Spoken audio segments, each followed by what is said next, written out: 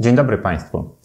E, nazywam się dr Wiśniewski i w tym wideo mm, będę rozmawiał na temat bezpieczeństwa szczepionki na COVID-19 wyprodukowanej przez firmę Pfizer w kolaboracji z biotechnologiczną firmą niemiecką BioNTech. Jak wiele z Państwa wie, ta szczepionka została zaaprobowana w Anglii na początku, potem w Stanach Zjednoczonych, a później wkrótce była w Europie i w Polsce i już jest podawana w Polsce pacjentom polskim. W poprzednim wideo, i jeśli Państwo tego nie widzieliście, zachęcam bardzo do obejrzenia.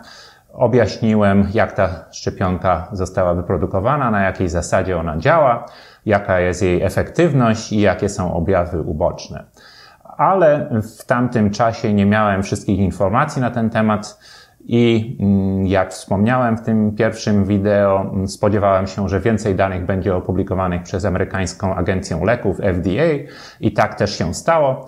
I dzięki temu mm, chciałem zaprezentować w tym programie trochę więcej informacji na temat objawów ubocznych, czy też objawów towarzyszących po podaniu szczepionki i będę różnicował też na szczepionkę podaną w pierwszej dawce, jak i też po drugiej dawce w różnych grupach wiekowych.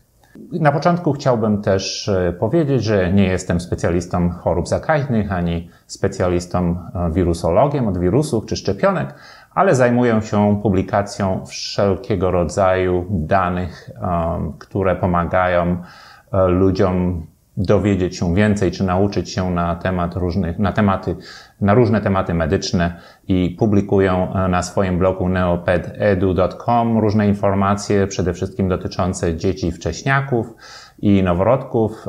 Mam też swój kanał na YouTubie, który właśnie teraz oglądacie i opublikowałem książkę mm, po angielsku, która jest dostępna na, dostępna na Kindle Babies Born Early. Jest to książka szczególnie mm, celowana dla rodziców i rodzin dzieci wcześniaków, które urodziły się przed 32 tygodniem.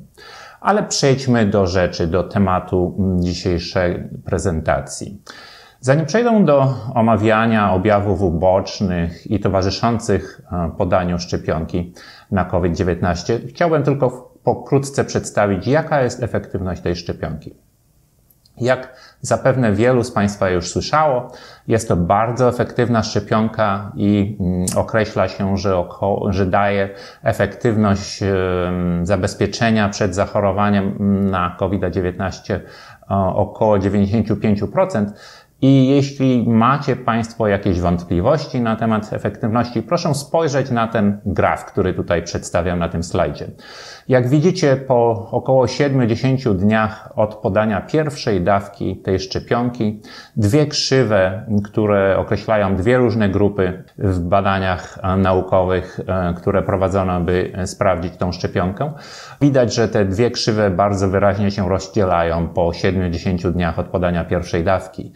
I krzywa kreską niebieską przedstawia grupę, która otrzymała szczepionkę i krzywa na czerwono określa grupę, która nie otrzymała szczepionki. I te dwie krzywe bardzo wyraźnie się i mocno rozdzielają i ta odległość pomiędzy nimi się bardzo zwiększa z czasem.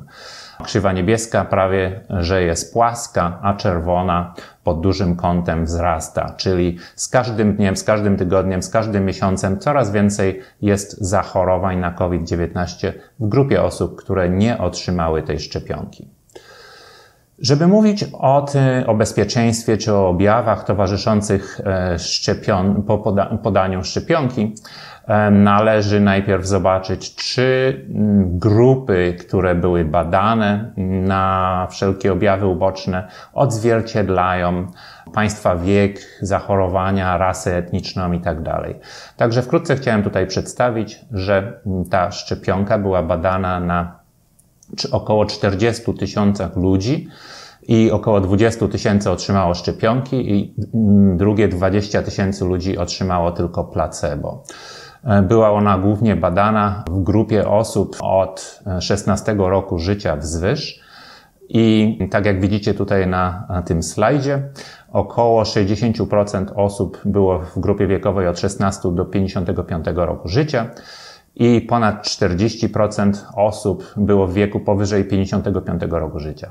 Jest to bardzo ważne, ponieważ niektóre szczepionki nie działają dobrze u starszych ludzi, a jak wiemy, ludzie w starszym wieku są bardziej narażeni na zachorowanie mm, e, na koronawirusa powodującego COVID-19 i także u nich śmiertelność jest znacznie większa. Także jest to bardzo ważne, żeby ta szczepionka była dobrze zbadana w tych grupach wiekowych starszych i żeby okazało się, że oni mają e, prawdziwe benefity po otrzymaniu tej szczepionki. Bardzo jest też ważne, żeby wszystkie grupy etniczne były w tych e, przebadane e, na efektywność tej szczepionki i na objawy uboczne i tak jak widzicie tutaj na tym slajdzie, około 81% e, ludzi było rasy białej, i 19% innych ras. Ważne podkreślić, że około 10% było rasy czarnej i około 4,5% pochodziło e, z Azji. Przejdźmy teraz do objawów towarzyszących i objawów ubocznych po podaniu szczepionki.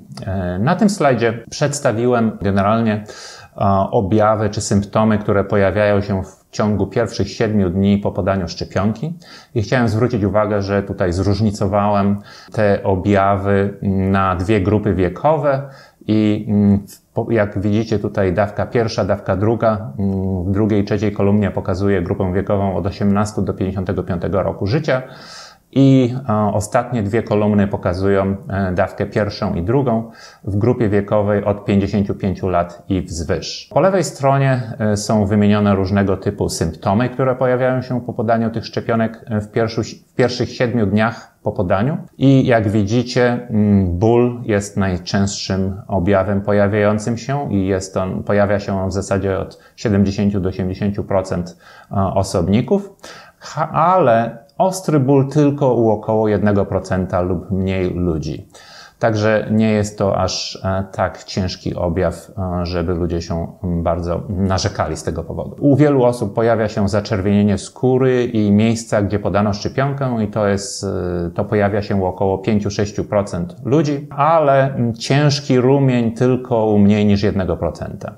Opuklizna w miejscu, gdzie podano szczepionkę, pojawia się też e, u około od 5 do 7% e, osobników, ale ciężka opuchlizna w bardzo małym procencie. Jest to mniej niż pół procenta ludzi pojawia się e, to. Także te objawy, które pojawiają się w pierwszych 7 dniach w miejscu podania szczepionki, bóle, zaczerwienienia i opuchlizna nie pojawiają się w dużym e, procencie, jeśli chodzi o ostre objawy.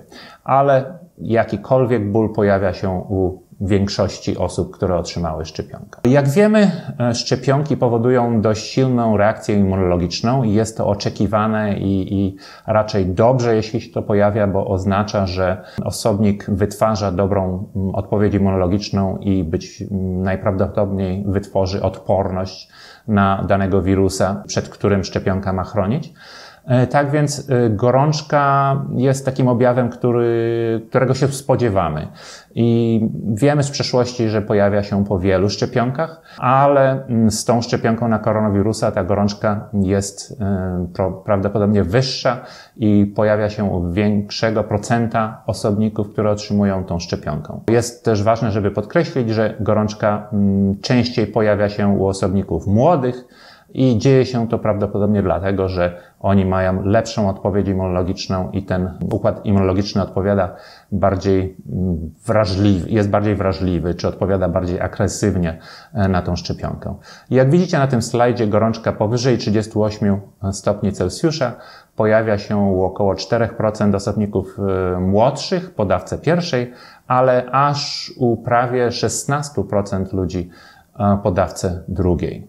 Te procenty są niższe y, w grupie osobników starszych powyżej 55 roku życia i ta gorączka powyżej 38 stopni pojawia się u około 1,5% ludzi starszych po pierwszej dawce i u prawie 11% po dawce drugiej u osobników starszych. Jest też bardziej interesujące, że prawie 50% osób po dawce drugiej u osobników młodszych zdecydowało się na branie środków przeciwbólowych i przeciwgorączkowych. U osób e, starszych było to prawie 40%. Także wiele tych osób uważało, że ich objawy bólowe i gorączkowe były dość znaczne i czy to mm, tak na wszelki wypadek, czy to rzeczywiście z powodu e, dość znacznych objawów aż prawie 50% osobników młodszych i 40% osobników starszych zdecydowało się na pobieranie tych środków przeciwbólowych i przeciwgorączkowych. Teraz na tym slajdzie spójrzmy na inne symptomy. My y, nazywamy te symptomy czy objawy objawami ogólnymi. I jak widzicie po lewej stronie one są wymienione. Jest to zmęczenie, bóle głowy, dreszcze, wymioty,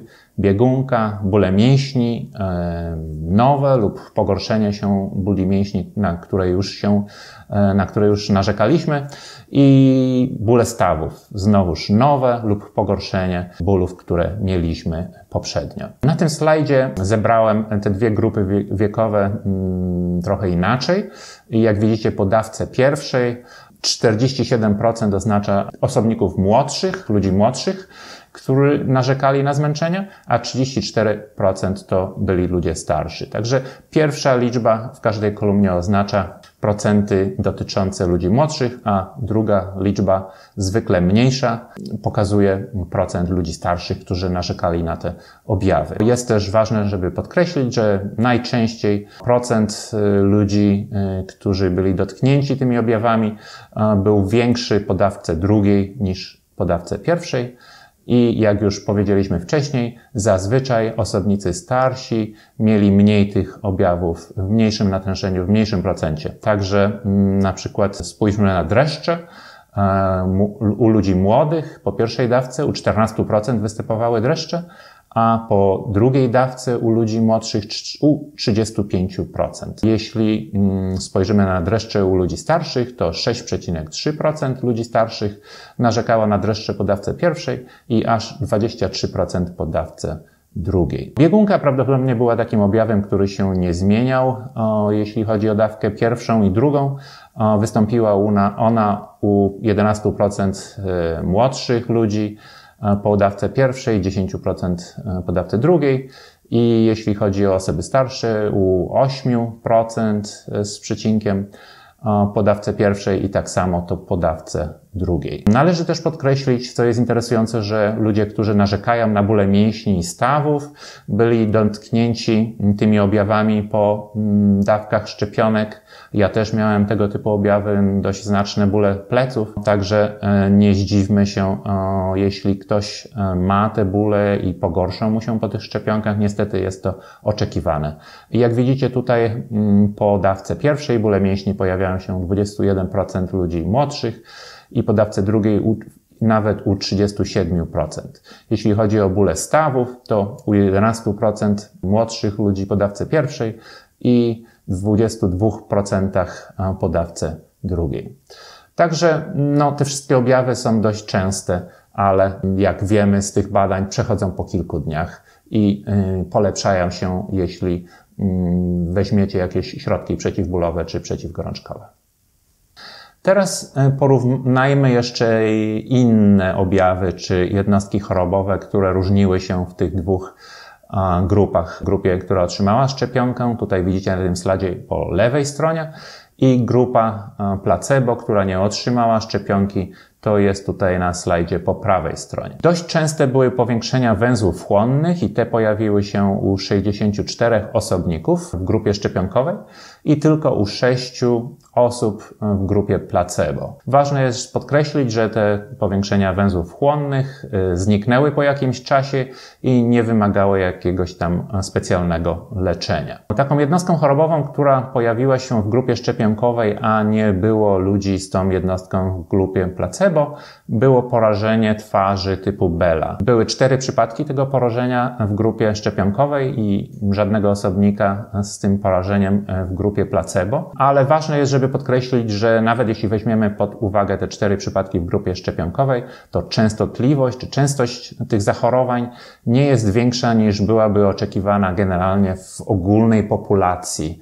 Mm, jak gdybyśmy spojrzeli powiedzmy na populację jakiegoś miasta i częstotliwość zachorowań osób na to schorzenie, to ta częstotliwość byłaby taka sama. Jak w każdej próbie klinicznej, e, także i w tym przypadku przebadano czy analizowano wszelkiego typu zgony, jakie pojawiły się i były dwa zgony w grupie szczepionkowej i cztery zgony w grupie placebo. Wszystkie te zgony w zasadzie e, były u osób starszych i były generalnie spowodowane chorobami układu krążenia i znowuż należy podkreślić, że częstotliwość tych zgonów nie różniła się od generalnie populacji, jaka była poddana tym próbom klinicznym, że e, te liczby nie odbiegały od jakiejś tam normy. Patrząc na te duże grupy 20 tysięcy ludzi w grupie szczepionkowej, 20 tysięcy ludzi w grupie placebo, analizowano różnego typu mm, zachorowania, jakie ci ludzie mieli w trakcie mm, prób klinicznych i zauważono, że w grupie szczepionkowej było trochę więcej zapaleń wyrostka robaczkowego, zawałów serca i udarów mózgu, a z kolei w grupie placebo było trochę więcej zapaleń płuc, migotania przeciągów serca i omdleń ale znowuż trzeba podkreślić, że mm, liczby tych zachorowań nie różniły się od tak zwanego tła, czyli częstotliwości tych zachorowań w populacjach ogólnych. Chciałbym też zawzmiankować, że u niektórych ludzi, zwłaszcza u ludzi, którzy mieli w wywiadzie ciężkie reakcje alergiczne w przeszłości, czy to na urządlenia, czy jakieś e, reakcje anafilaktyczne, alergiczne na składniki pokarmowe, czy składniki różnych leków.